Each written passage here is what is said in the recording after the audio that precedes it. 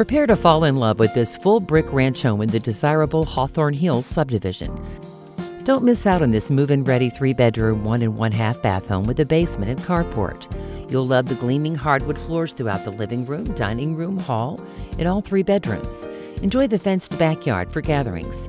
Hear all the details when you tour with Caren Kelly and Jewel Kelly.